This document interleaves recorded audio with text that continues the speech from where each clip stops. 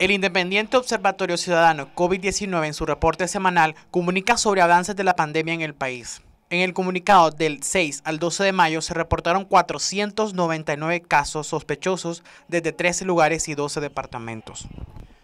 Según el observatorio, Managua se mantiene como la ciudad con más contagios de la pandemia, con 5.969 casos sospechosos hasta la fecha de hoy.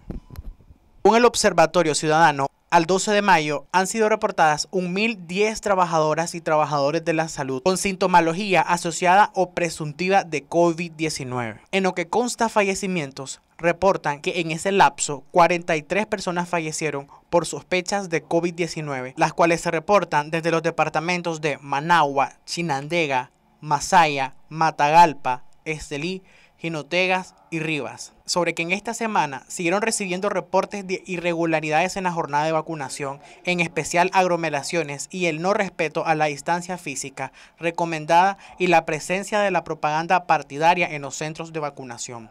Para Noticias 12, Angel Saltamirano.